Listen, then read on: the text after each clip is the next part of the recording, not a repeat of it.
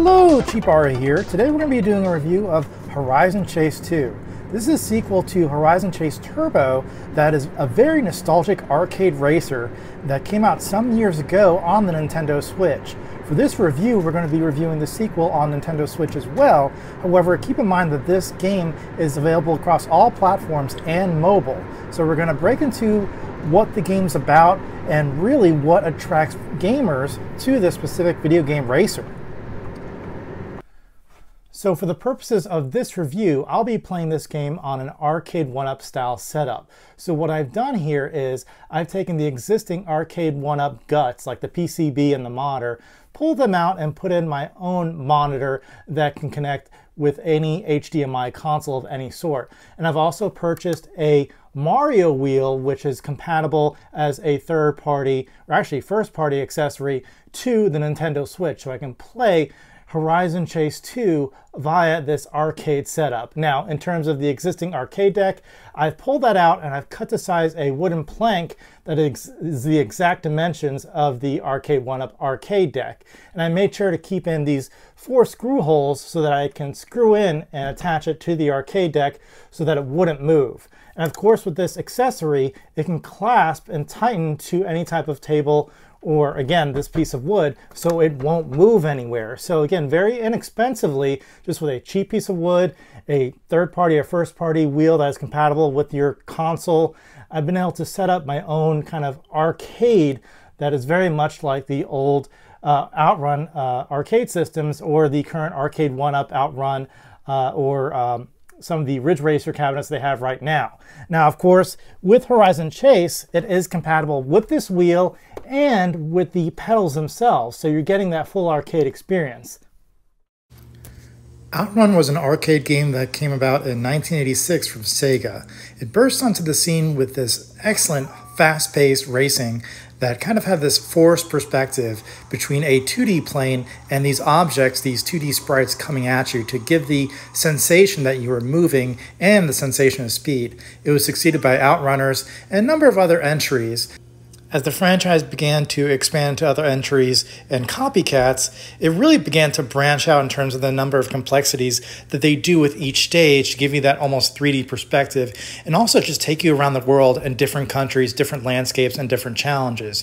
It really was a way to kind of just blow your mind and kind of expand and make the racing kind of market more complex in arcades. Now, fast forward to today Horizon Chase Turbo came out in about 2018 on mobile systems before expanding out onto consoles. Now, very much taking the inspiration of Outrun and its other successors, it has that same type of close perspective to the vehicle, along with kind of being reactive to the streets and the kind of the curves of the track. With its hyperactive 80s enthused soundtrack, this was a great opportunity for those to kind of experience Outrun, but more of a 3D kind of mix with the 2D kind of perspective. It was an excellent addition to the arcade racing market.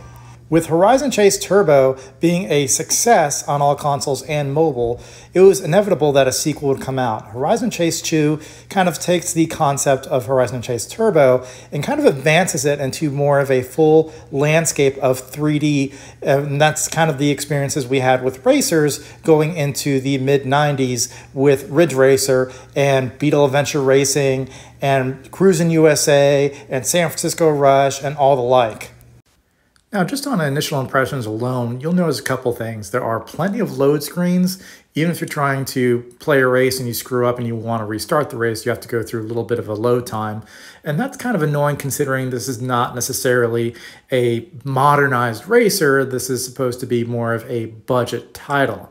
Now, the game itself, as you can tell, is literally like Outrun, except more of an updated version. So the camera is tight on the vehicles themselves. You're more about reacting to the road as opposed to kind of seeing what's in front of you and kind of taking shortcuts and stuff like that. That isn't that type of game. It is very much like an updated Outrun, but with a full 3D landscape. And that's okay in certain regards, but in in other regards, it's very much like confused in its nostalgia approach. Now, in terms of the arcade elements themselves, beyond the gameplay, of course, you have the ability to kind of collect coins and use them for upgrades. You gain XP. Uh, each uh, race has about 15 XP that you can apply to kind of building up your cars along with the coins that you uh, are able to collect on the road. And of course, there are plenty of unlockables by kind of going through the World Championship mode and just kind of beating each continent with US and Brazil and Thailand, just going through each one of these countries and being able to kind of unlock each as you kind of build up your repertoire of vehicles. Now, as you see here, I'm using the Hori racing wheel. This is the Mario Kart racing wheel that works great for Mario Kart on the Nintendo Switch, and it works for the most part with this game. However, I did notice that this wheel is a bit uh, finicky with respect to the pedals. Now, if you were to press on the gas like you see here and then let your foot off the gas when you're pressing the brake, it really messed everything up as if I was changing gears on a manual vehicle as opposed to playing automatic. Now, it kind of, when I left my foot off of the gas and then pressed the brake, and then I put my foot on the gas, it didn't recognize my foot being planted on the gas again. So I kind of learned that I should always have my foot on the gas and just pump the brakes if I was looking to not kind of stop the race altogether. So that was really the best way for this racing wheel to work with Horizon Chase 2. Now, another complaint I have is in terms of the nighttime racing. While racing during the daytime looks pretty great on the Nintendo Switch, the nighttime racing can look a little drab, to be honest with you, and a little muddy. And for a game that really goes off of the, the kind of the characteristics and the charm of the graphics itself, it's a little bit disappointing that sometimes the graphics at night can look so kind of pixelated and just honestly sometimes uh, not that great. Now, besides the World Tour mode, which is kind of like your main career mode, they also have a tournaments mode, which is again four matches in a series of races. Again, standard to what you might find in the first game. But the new mode, Playground, has online, which I do not remember in Horizon Chase Turbo, the first game. And it also allows you to do these missions and goals that are specific to each race. So as I continue to play more and more with the game, I began to enjoy it a little bit more than my initial thoughts. It is a bit confusing with respect to what they're trying to go for here, with much of nostalgia kind of having been lost with this new iteration. It's not Outrun, it's not any of the more modern racers, it's not any of the racers from the 90s. It's kind of trying to be a mix of both. And it, in the same cases, it kind of celebrates everything with respect to the arcade racers of the late 80s and 90s. But um, I do wish that there was a little bit more going on here that, that felt familiar and more engaging. But um, again, there's plenty once you start getting into the game that really kind of jump out at you. If you're driving across the Midwest of the US and you're going into some of these other countries like Thailand, it really feels like you're getting a mix of Need for Speed, or in this case, maybe some cruising. So again, it kind of celebrates all of it without not actually kind of moving the needle and advancing the market of racers or arcade racers in that respect. So there's still plenty of fun to be had, just not as much fun as I hope for. I can extend the life of the game with the playground mode and the tournament mode. Now, with the playground mode, of course, that has your online and also has these series of challenges that you can play in solo. Uh, and they give, give you these goals and missions and accomplishments of what you're supposed to do in the race besides just finishing in first. Like, you can't hit anybody, you have to uh, not use your nitrous during the match.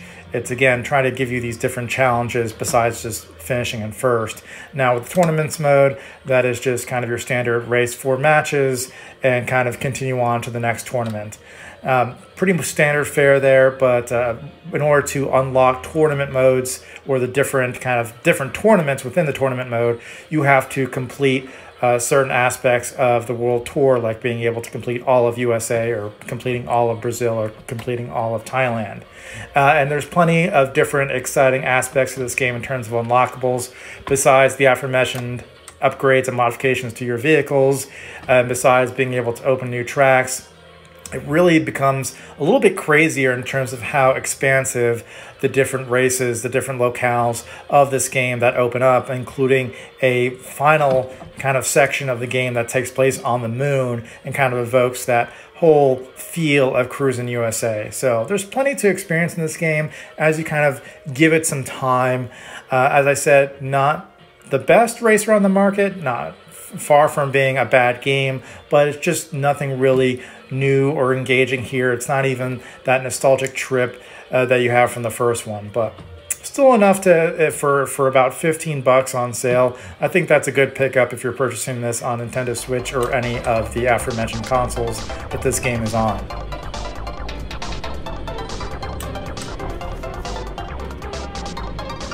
Uh-oh, guys. Red shell.